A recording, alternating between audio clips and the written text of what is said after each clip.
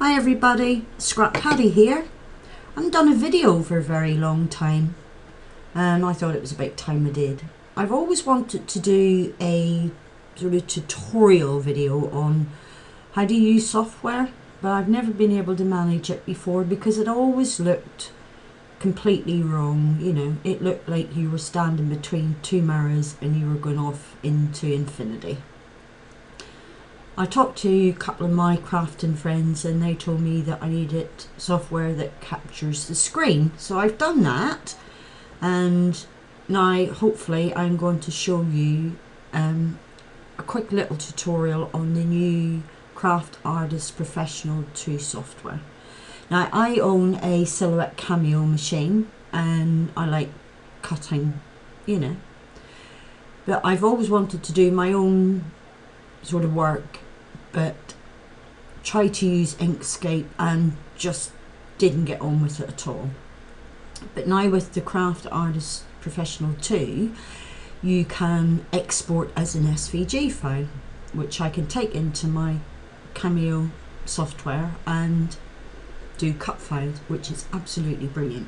Now, this really is the quickest uh, tutorial that I think I will ever do. I using the software as you can see I'm going to open a new project. I'm just going to do A4 click OK. And I'm just going to open up a DigiKit this is quite a nice little one. And I'm going to pick something that I want to cut. Let's have a look. Oh that's quite cute how to do that.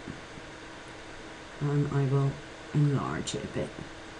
Bring it down now normally in graphic software you want to save something you have to go to your save as. In craft artist 2 you don't do that.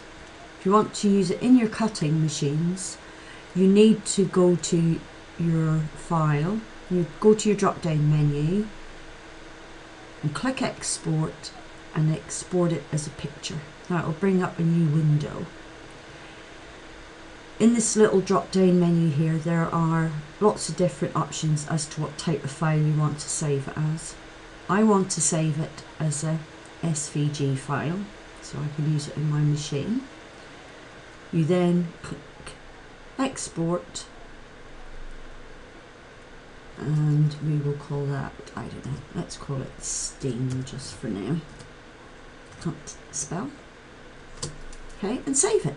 And that's it. It's that simple. Now in the next video, I will show you how to import that into your Cameo software to be able to cut it. Feel free to leave a comment afterwards and I'll see you in the next video. Bye!